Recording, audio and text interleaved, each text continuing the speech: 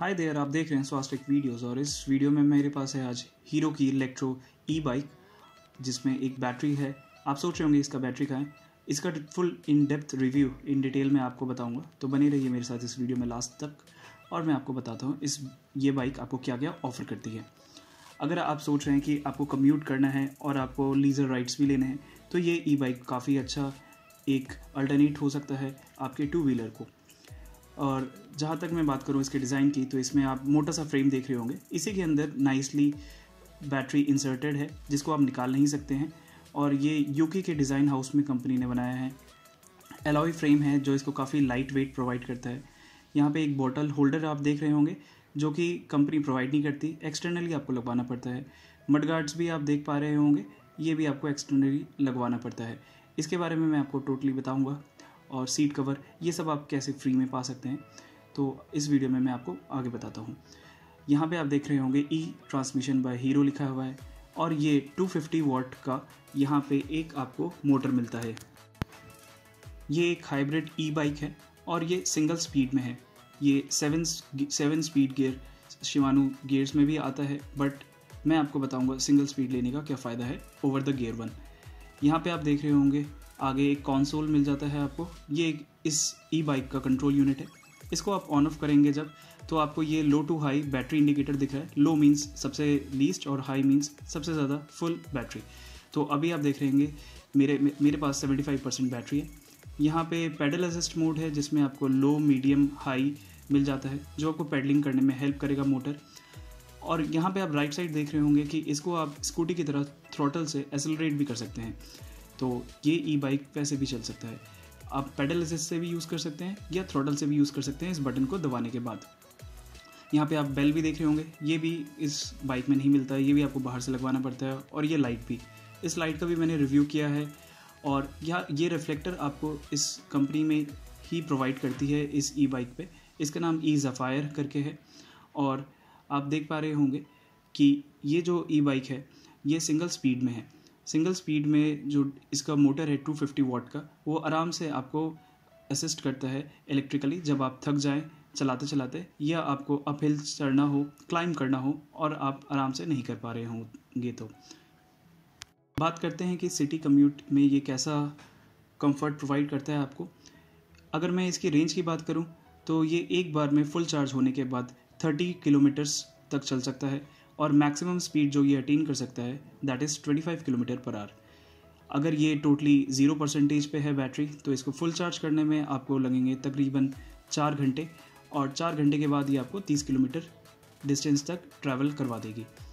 इस ई बाइक का एक और ख़ास बात ये है, इसमें आपको कोई डी एल आर सी की भी रिक्वायरमेंट नहीं है, क्योंकि ये 25 किलोमीटर पर आर तक चलती है तो आप बिना किसी पेपर के इसको रोड्स पे आराम से चला सकते हैं। इस पर आपको इनफैक्ट हेलमेट पहन के, पहनने की भी ज़रूरत नहीं है बट आई रिकमेंड कि हेलमेट नेसेसरी होता है जब आप इसको ज़्यादा कम्यूट करने के लिए यूज़ कर रहे हैं। इसके अंदर 5.8 पॉइंट एम्पेयर आर का बैटरी लगा पड़ा है, जो कि बहुत अच्छा टॉर्क प्रोवाइड करता है। इसको आप एक हाथ एक हाथ से भी आराम से उठा सकते हैं। देखिए मैं कैसे इसको थ्रॉटल दे रहा हूँ, और ये आराम से इसका मोटर इसको आराम से चला पा रहा है। इसको आप पेडल असिस्ट मोड पे भी चला सकते हैं, यानी कि आप इसको बिना रेस दिए हुए जब आप इसमें आराम से पैडल करेंगे तो इलेक्ट्रिक मोटर अपने हिसाब से आप, आपका पैडलिंग और अपना पावर एडजस्ट करता है, ताकि आपको एक आराम से लंबा डिस्टेंस ट्रैवल करने में कोई डिफ़िकल्टी ना आए और आपको ह्यूमन एफर्ट कम लगता है। लो मीडियम हाई तीन सेटिंग्स हैं तो लो में आपका एफर्ट ज़्यादा लगेगा और मोटर का एफर्ट कम लगेगा। हाई में आपका एफर्ट सबसे कम लगेगा और मोटर अपना काम करेगा मोटर आपको आगे बढ़ा देगा। बात करूँ अगर मैं इस बाइक की तो ये एक हाइब्रिड ई बाइक है, जिसको आप माउंटेन और रोड दोनों कंडीशंस में आराम से चला सकते हैं। ज़्यादा ऑफ़ रोडिंग के लिए तो नहीं बनाए बट हाँ फिर भी आप थोड़ा बहुत तो कर ही सकते हैं। इसको बिना पैडल किए हुए भी आप आराम से लंबा डिस्टेंस ट्रैवल कर सकते हैं। The biggest advantage of the motor is that it gives power to the wheels when needed now if I talk about the brakes तो इसके फ्रंट में आपको डिस्क ब्रेक मिल जाता है और रियर में आपको मिलता है पावर वी ब्रेक ये दोनों कॉम्बिनेशन से आप किसी भी सीज़न में आराम से कंसिस्टेंटली ब्रेकिंग कर सकते हैं और ब्रेकिंग इसकी काफ़ी अच्छी भी है। ई बाइक होने का एक और एडवांटेज ये भी है कि ये किसी भी बाइक या स्कूटी की तरह पॉल्यूट नहीं करती। तो आप अपने आप को तो हेल्दी बना ही रहें, साथ में इस इन्वायरमेंट को भी आप हेल्दी बनाने में काफ़ी योगदान दे रहे हैं। इसके कॉन्सोल पे आपको एक और बटन मिलेगा, जो जिस पे लिखा होता है सिक्स किलोमीटर पर आर और जब आप उसको प्रेस करते हैं तो इसका मतलब होता है कि सपोज़ करिए आपके साथ कोई इंसान चल रहा है और आपको उसी की स्पीड से चलना है और आपको साइकिल ज़्यादा तेज़ से नहीं चलानी तो आप उस बटन को प्रेस कर सकते हैं और ये साइकिल एक ह्यूमन जिस तरीके से चलता है, उसी स्पीड पे सिक्स किलोमीटर पर आर की स्पीड से आपको उसके साथ चलाएगी, जो कि ये काफ़ी अच्छा ऑप्शन प्रोवाइड किया गया है इस बाइक में। ज़रूरी नहीं है कि आप हमेशा इसका मोटर ऑन करके ही रखें इसको आप नॉर्मली एक रेगुलर बाइक की तरह भी चला सकते हैं। एक, आप इसको पैडल करके भी आप इस पर एक्सरसाइज कर सकते हैं। और वैसे भी जब इसका मोटर ख़त्म हो जाता है बैटरी एंड हो जाती है चलाते चलाते तो आपको वैसे भी तो पैडल करना ही पड़ेगा। आई रिकमेंड कि आप हमेशा इसको आराम से पैडलिंग करते हुए चलाएँ और जब आपको ज़्यादा थकावट थकावट महसूस हो रही है, तब आप इसको, इसका मोटर ऑन करके यूज़ कर सकते हैं। जैसे कि आप देख पा रहे हैं जैसे जो हिली रीजन होते हैं या फिर आपको क्लाइंब करना है फ्लाई आ रखे हैं तो आप पैडलिंग करते हैं तो आपको बहुत एफर्ट लगता है और पैडलिंग करना भी बहुत डिफ़िकल्ट लगता है। बट जब आप इसका मोटर ऑन कर देते हैं तो आराम से ये आपको पैडलिंग करके क्लाइंब करा देता है। मैं आपको एक बार फिर से दिखाता हूँ कि जब आप इसको आराम से आपको खुद से क्लाइंब करना है तो वहाँ पे आपको काफ़ी ह्यूमन एफर्ट वेस्ट करना पड़ता है और काफ़ी डिफ़िकल्ट होता है, मैंने खुद ट्राई किया। पर जब आप इसको, इसका मोटर ऑन कर देते हैं और उसके साथ साथ पेडल करते हैं तो मोटर भी आपको असिस्टेंस प्रोवाइड करता है और आराम से आप क्लाइंब कर लेते हैं। इसमें आपको कोई दिक्कत नहीं आएगी। इसीलिए इसको, इसमें कोई गियर का नीड नहीं लगता है मुझको। जो इसका चार्जर की बात अगर मैं करूँ तो एक लैपटॉप की चार्जर की तरह ही इसका अडेप्टर होता है और आप इसको नॉर्मल घर में आप प्लग इन कर सकते हैं। और उसे आप चार्ज कर सकते हैं।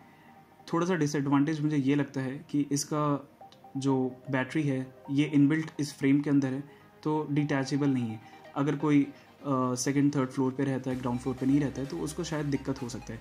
बट हाँ एक्सटेंशन केबल का आप यूज़ करके इस बाइक को आराम से थ्री टू फोर आवर्स में कम्प्लीटली चार्ज कर सकते हैं ज़ीरो परसेंट से। यहाँ पे आपको बैटरी लेवल इंडिकेशन भी देखने को मिल जाता है। चार्जिंग करते समय अगर आप फोर आवर से ज़्यादा चार्ज कर देते हैं तो कोई दिक्कत नहीं है क्योंकि कंपनी ने इसमें चार्जिंग प्रोटेक्शन भी आपको प्रोवाइड किया हुआ है इस साइकिल में। बात करूँ मैं अगर इसकी सीट की तो इसका सीट भी हाइट एडजस्टेबल हो जाता है तो आप अपने हिसाब से इसको एडजस्ट कर सकते हैं। पैडल के भी जो पोजीशनिंग है, काफ़ी अच्छी है तो चलाने में काफ़ी आपको कंफर्ट प्रोवाइड करता है। कोई दिक्कत तो मुझे अभी तक तो लगा नहीं इसको चलाते हुए। इसके साथ आपको थोड़ा बहुत एसेसरीज़ मिलता है नट वगैरह टाइट लूज़ करने के लिए। और आपको इसके साथ एक यूज़र मैनुअल भी मिलता है जो कि आप चाहें तो पढ़ सकते हैं कि ये हर एक चीज़ कैसे फ़ंक्शन कर सकता है। वरना थोड़ी देर चलाने के बाद आपको यूज़ तो, तो हो ही जाएँगे कि ये वर्क कैसे करता है। बात करूँ मैं अगर इसकी प्राइसिंग की तो ये आपको 25,000 के आसपास मिल जाता है। इसकी एमआरपी वैसे 26,000 है पर आप अमेज़ोन वगैरह पे देखेंगे तो 20 टू 23,000 पे आपको आराम से मिल जाता है। प्लस कभी कभार बैंक ऑफर्स भी लग जाते हैं तो आपको आराम से 1,000 के आसपास और आप बचत कर सकते हैं। ऑफलाइन और ऑनलाइन लेने में एक डिफरेंस आता है ये आपको मैं बताना चाहूँगा। ऑनलाइन में बहुत सारी एसेसरीज़ आपको नहीं मिलती हैं। ऑफलाइन में भी आपको सेम ही कॉस्ट का मिलेगा कोई वहाँ पे डिफरेंस प्राइस का डिफरेंस नहीं आता है। पर ऑफलाइन में आपको seat cover mud guards bottle holder bell और कुछ कुछ बेसिक्स चीज़ें जैसे लाइट ये सब आपको एडिशनली फ्री में वो लोग प्रोवाइड कर देते हैं। तो ये आप ऑफ़ ऑफलाइन मार्केट से आराम से ले सकते हैं। मैंने इस, इसके लाइट का एक सेपरेट वीडियो बनाया है। चाहे तो आप आई बटन को क्लिक करके उसको देख सकते हैं। Hundred to two hundred rupees के रेंज में आपको एक अच्छा सा ड्यूरेबल लाइट साइकिल पे लगाने के लिए मिल जाएगा। इसकी बैटरी की एक और बात आपको बताना है कि दो से तीन साल इसकी बैटरी लाइफ है। उसके बाद आपको इसका बैटरी रिप्लेस कराना पड़ता है, जो कि आपको five thousand to six thousand rupees का अलग से बैटरी लगवाना पड़ेगा। Thanks for watching this video stay subscribe to my channel this is वॉशिक signing of